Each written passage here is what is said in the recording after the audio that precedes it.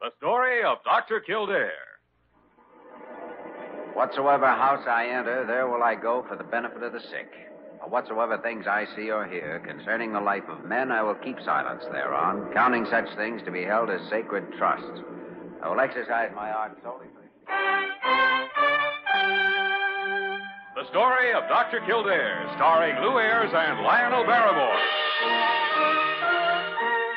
Metro Goldwyn Mayer brought you those famous motion pictures. Now, this exciting, heartwarming series is heard on radio. In just a moment, the story of Dr. Kildare. But first, your announcer.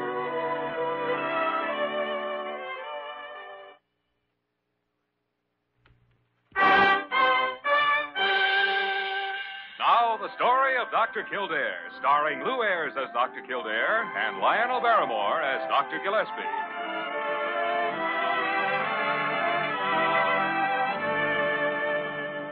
Blair General Hospital, one of the great citadels of American medicine. Clump of gray white buildings planted deep in the heart of New York, the nerve center of medical progress, where great minds and skilled hands wage man's everlasting battle against death and disease. Blair General Hospital, where life begins, where life ends, where life goes on.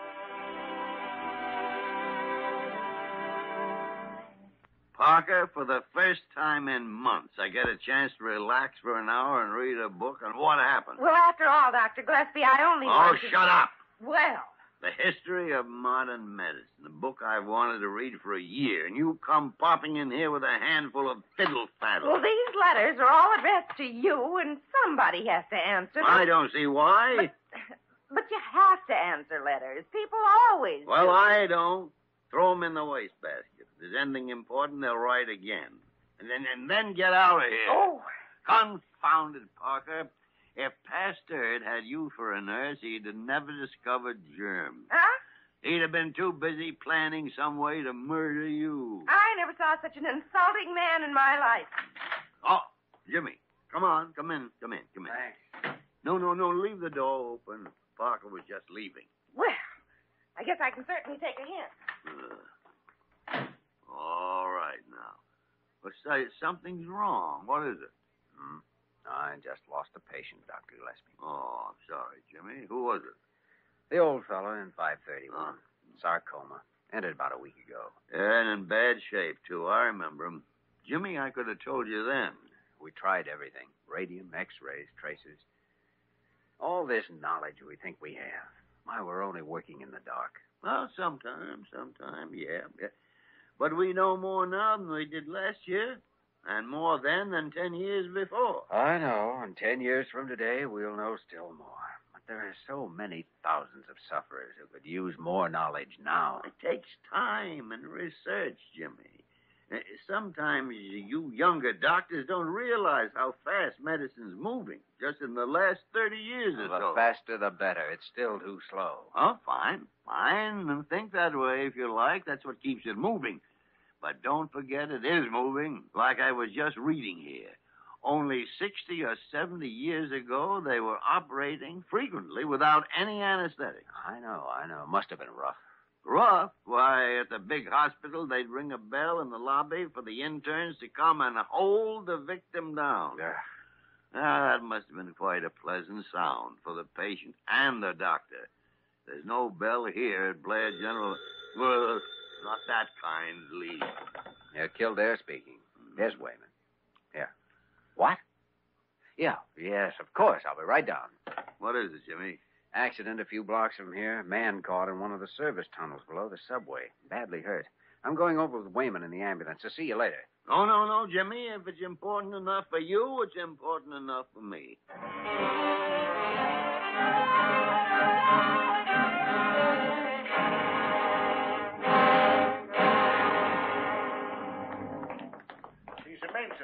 Maintenance man, electrician. Started down this manway to service a fan.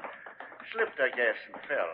He's hung up about 30 feet down. Jeepers, Doc, this ain't gonna be easy. It Could be, Wayman. How big is the manway, officer? Two feet in diameter. It is vertical with an iron ladder down one side. Two feet. There's not going to be much room to work, Jimmy. I Oh. went down, fastened a rope sling under his arms, tied him to the ladder so he wouldn't fall on down the shaft. Good?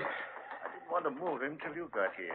You see, one of the iron rungs of the ladder must have got knocked loose somewhere and bent out. It's run through his stomach. By the great horn spoon. Huh? Is he bleeding badly? Not as far as I can tell. Uh, he was unconscious when I came up. Uh, here we are.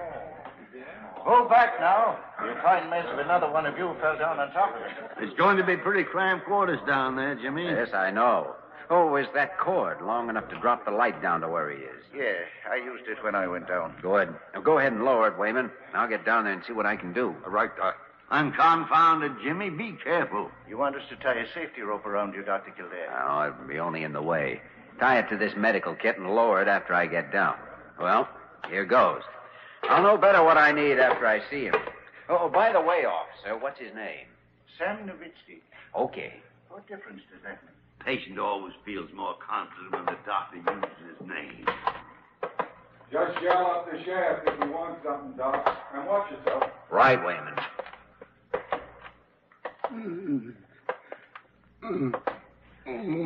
Easy now, Sam. It's all right.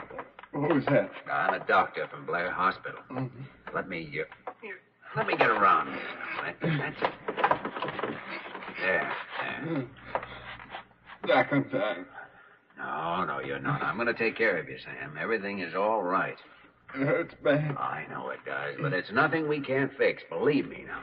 Oh, Wayman, hurry up with that kit. Coming down now, Doc. Oh, and something else, Wayman. Send down two pints of plasma. Dr. Paul. No, here's the kit and the morphine. Good. Doc, I guess my life is in your hands now. Yes, I guess that's right. Don't let me die. Sam, that's a deal.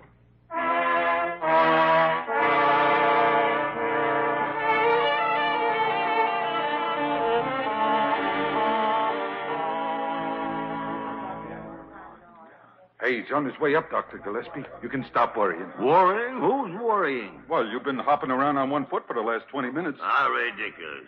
Wayman, you're out of your mind. Are you trying to tell me you haven't been... Wayman! Uh, yes, sir. I I mean, yes, sir. Here, Dr. Let me give you a hand. Thanks, officer.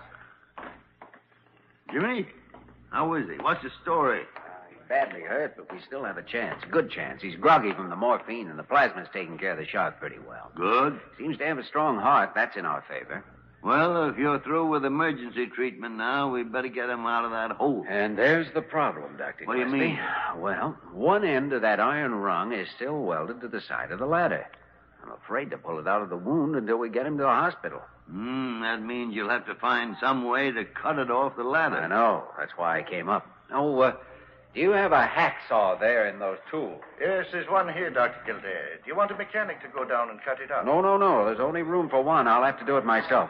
Jimmy, what about a tetanus shot? I'll make a serum test when we get him in the ambulance. We can give him a shot at the hospital. The sooner he's operated on, the better. Here, let's have that hacksaw.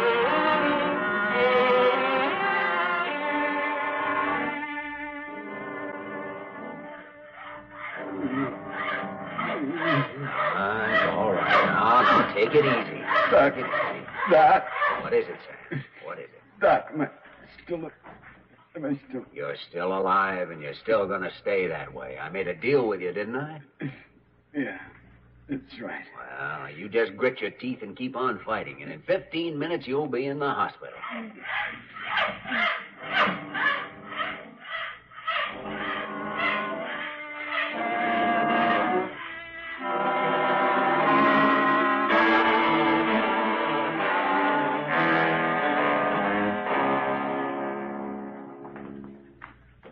right, Wayman, careful now. Slide the stretcher under. Right, boss. Here we go. Is he unconscious, Jimmy? Yes, I gave him another morphine along with the penicillin. Uh, All right, Wayman, let's go. Oh, Lucky they let me bring the ambulance right down the tunnel here. We'd have had to pack him a hundred yards. Yeah. Oh, would you mind bringing my kit, Dr. Gillespie? I've already got it, Jimmy. Here we are. Easy now. Okay, lock her down. Right, Wayman. Now, let's go. Now, you take the seat, Dr. Gillespie. I'll ride the side of the stretcher. Good. Straight ahead and up the side ramp. Okay, Mac. Ready, Doc? Anytime. Let her roll.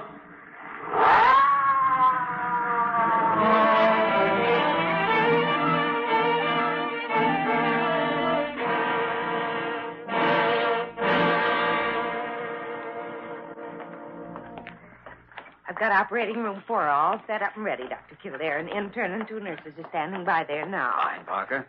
Wayman, you wheel him in here and get him off the stretcher. Kildare and I'll go ahead and scrub up. Gotcha, Doc. And be careful not to move that iron bar. Yes, sir. Oh, by the way, Parker, we'll need a type B formula for the tetanus shot. He's allergic to horse serum. All right, Dr. Kildare. I'll draw it from the dispenser. I'm assigned as operative assistant, Doctor. What anesthetic do you plan to use? He may have serious internal injuries. What do you think, Dr. Gillespie? Better play it safe and don't take chances on nausea afterwards. Yeah, right.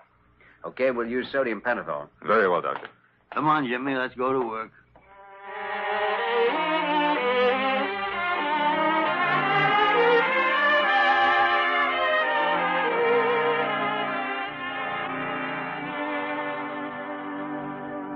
Hey, Jimmy, I haven't been as tired as this for weeks. I haven't either. Quite a day. But he came through the operation all right, barring shock. I, I, I think he'll pull through now. Oh, no doubt of it at all. He's one of the 97.6%. No? What, what do you mean by that? Well, according to this book here, History of Modern Medicine, that's the present rate of recovery from serious abdominal injuries. I see. Whereas the recovery rate at the time of World War One was only 38%. Hmm. Yes, remarkable improvement, Jimmy. All right, no argument. Furthermore, in this particular case, the patient wouldn't have had any chance of being even one of the 38%. No? Well, why not? A number of reasons.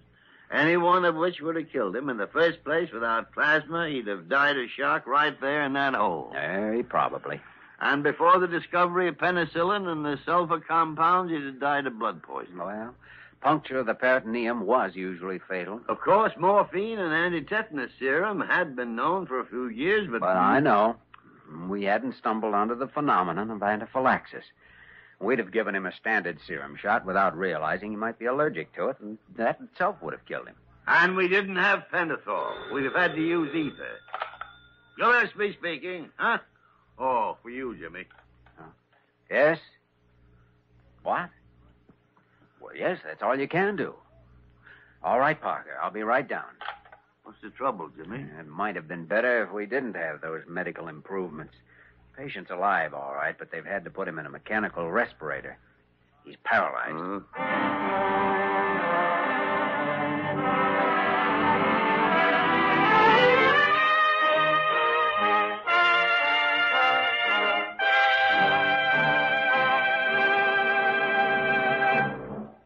return to the story of Dr. Kildare in just a moment.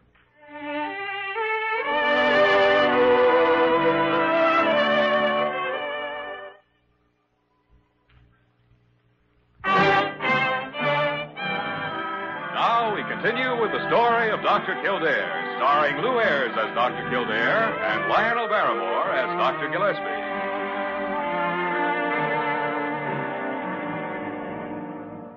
Well, Jimmy, judging by the general area involved and the nature of the paralysis, I'd say something's affected the sympathetic system pretty close to the spinal column. Yes, that's where it has to be. It's the only place where that many nerve chains lie close together. Now, now, now, look here on the chart. If there were an injury or pressure or whatever anywhere along any of these two trunks, would account for the whole set of symptoms, but nowhere else. And that iron bar went in about here and ran back and up there. Yes, it perforated the peritoneum here, missed the front of the diaphragm, pushed this lobe of the liver aside, and lodged against the horn of the seventh dorsal vertebra. Hmm. Here. That's right. And he's paralyzed from the chest down. It's strange the paralysis would occur suddenly, two hours after the operation. In a military case, you suspect a piece of shrapnel in the wound. Yes, yes, one that had shifted and was pressing on the nerve trunk or hmm. something. Well, uh, anyway, here's what uh, here's what did it. This uh, this end broke loose from the weld on the ladder, and of course I saw it off the other end. Uh, it's a jagged break, all right, but still. You know, there is one possibility. There could have been a metal fragment on this broken end that came off and lodged in the wound. Well, yeah, it would certainly fit the symptoms. And right now, it seems to be the only explanation that does. We'd better check it. Uh, Parker. Jimmy, I suppose you realize that this means using another modern medical technique. Yes, I know, Doctor. I'm way ahead of you. Did you want me for something, Dr. Kildare? Yes, yes, Parker. Will you set up an X-ray room right away?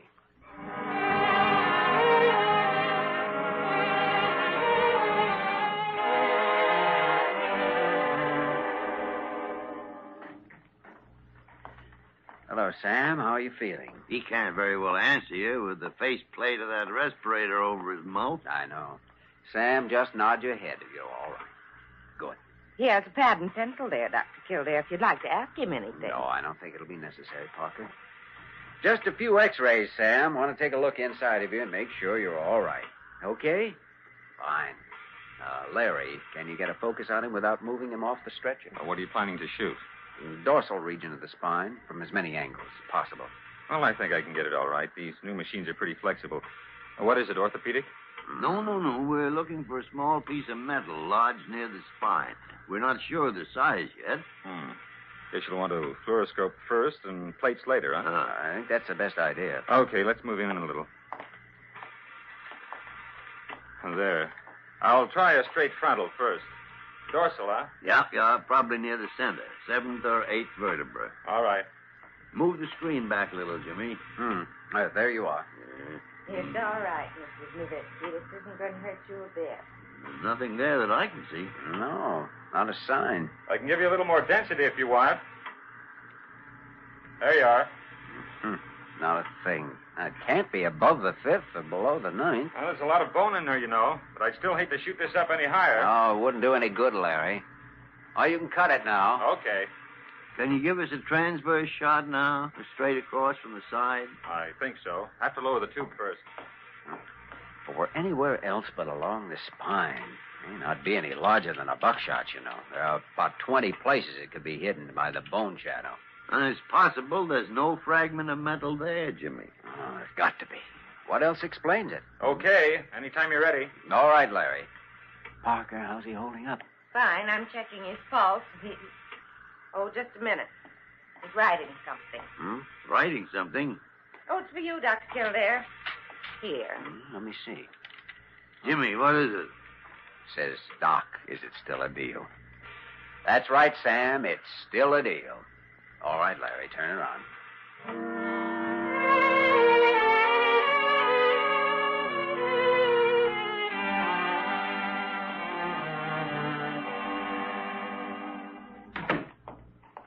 I don't know, Jimmy. With nothing from the fluoroscope, I doubt that his photographs will show anything either. Oh, probably not, but we can't miss any chances. It's just too bad modern medicine had to pick this particular time to fall down on the job. Oh, confound it. If only we could be sure the exact location of that fragment, it'd be simple enough to get it out. I know, but without being sure, it's impossible. He's in no shape to stand a major exploratory. It'd kill him. Ah, here we are. Oh, hello, Wayman. Hiya, Doc. And, uh, uh, I just got back and they said you was taking x-rays, so I didn't bother you. Oh, what'd you find out? Well, I matched this here bar up with the place on the ladder, see? And there's a piece missing, all right. We searched the whole shaft and the floor at the bottom. Really shook it down. Well, that settles it, Jimmy. There's our problem. Yeah, sounds like it. Oh, Wayman, could you tell anything about the size of the piece? Well, the way we figured, it's kind of three-cornered shape and about as big around as a, as a lead pencil. Confounded it, a chunk of metal, no bigger than the nail of your little finger, and it's paralyzing a man. Probably kill him. With all our knowledge, we can't do a single thing to prevent it. Uh, Dr. Kildare, Larry said to tell you that he's going right to work on the photograph. Oh, good. Got Mr. Nowitzki back to bed and give him the sedative you left. That respirator's bothering him quite a Oh, lot. I know, it's bound to. tarnation. Well, it certainly seems a shame that there isn't some way of locating a little tiny bit of metal like that. Uh. After all, they've got machines to find gold and uranium. Parker. Hmm? Parker, you're an angel. I'm a what? Never mind. Call the uh, Radford Electronics Laboratories. It's uptown somewhere. And get Dave Radford on the phone. All right, Dr. Kildare. Jimmy, what are you up to? Just playing a hunch. You know, there may be one of those modern advances that even you haven't heard of. Uh,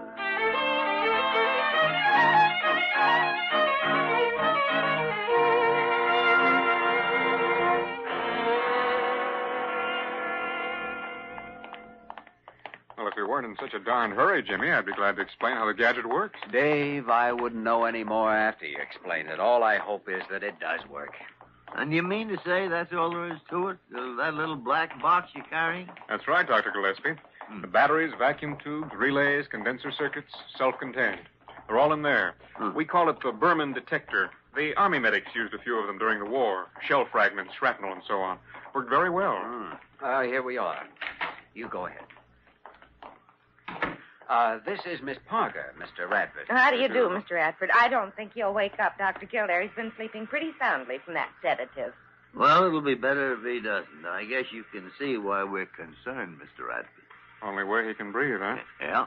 That's tough. Well, maybe we'd better see what we can do. It takes a minute to warm up. How's the thing work, Dave? I mean, I mean, how do you go about using it? Well, this metal rod unclips from the side here. Uh, It's attached to the circuit through this flexible cord. So I just move the tip of the rod at random like this until uh-huh.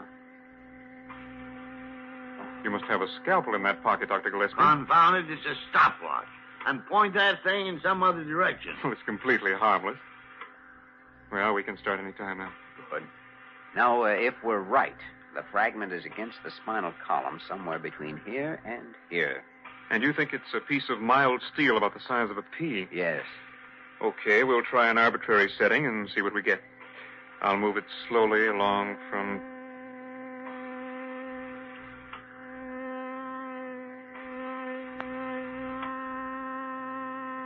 By the great horn spoon. There it is. Yeah. Just under the eighth dorsal. Parker, Parker, set up an operating room.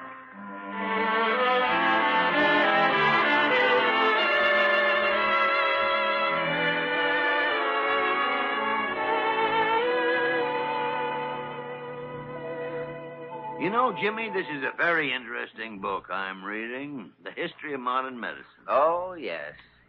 Yes, I've been glancing through that one myself the last few days. Since the accident of Nowitzki's, by any chance? As a matter of fact, I think it was the next day that I first looked at the book. How is he? Oh, fine, fine. I just came from there. It's the fourth day now. I think he's out of danger. Still breathing normally? Normally, except for the fact he's snoring his head off. Eh, good sign. You know, Jimmy, it just goes to show what modern medical techniques can do for a patient. I know. I didn't have any argument with you in the first place. A fact of which I was aware. But I just had a bad setback. I'd Hmm. fought the case for a week in every way I knew and then lost it. Well, you know how you feel. Yes, as though you were three inches tall, with a head of solid bone and both hands cut off at the wrist. We have come a long way, Dr. Gillespie, and Hmm. we've still a long way to go. You know, there's one thing in the profession that hasn't changed, though. Must have been the same for doctors 50 years ago or 500. What do you mean? Well, the the feeling you get in a case like Sam Nowitzki Uh, when you put a patient back on his feet after all the odds say he should be dead. Jimmy, if it weren't for that feeling, we wouldn't be in the medical profession, neither one of us. Hmm. And with that pearl of wisdom, I hereby declare today's session in philosophy adjourned.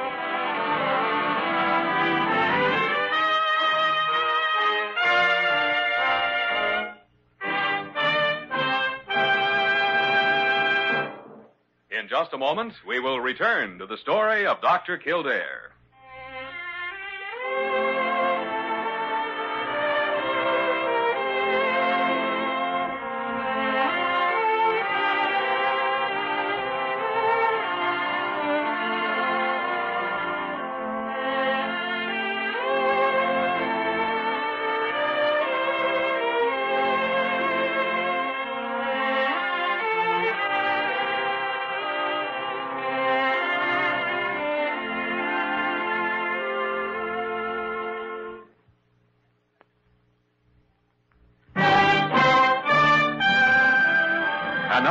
Again, the story of Dr. Kildare, starring Lew Ayres as Dr. Kildare and Lionel Barrymore as Dr. Gillespie. Oh.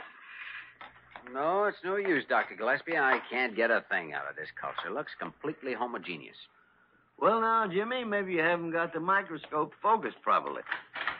Well, Parker, what do you want? Mr. Nowitzki is leaving, and he wants to say goodbye. I wasn't sure whether you'd mind. Of course not, Parker. Send him in. All right, Dr. Kildare. I never saw a faster convalescent.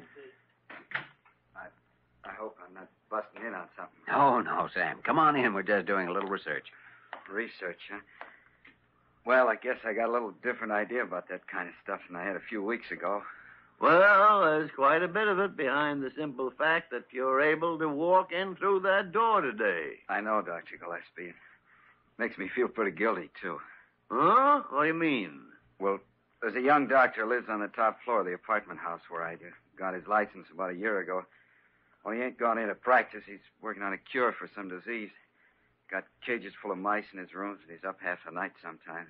Uh, really serious about it, huh? Yeah, and I've always ribbed him about not getting some patients and making an honest living. Uh, But I tell you one thing: when I get home, I'm going to climb up them stairs and shake his hand. Now, you know, that's a very good idea. And do something else, Sam. Shake his hand twice, will you?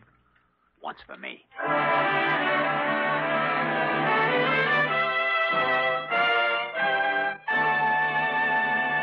You have just heard the story of Dr. Kildare, starring Lew Ayres and Lionel Barrymore. This program was written by Les Crutchfield and directed by William P. Russo. Original music was composed and conducted by Walter Schumann. Supporting cast included Virginia Gregg, Ed Max, Frank Gerstle, Byron Kane, Vic Perrin, and Tudor Owen. Dick Joy speaking.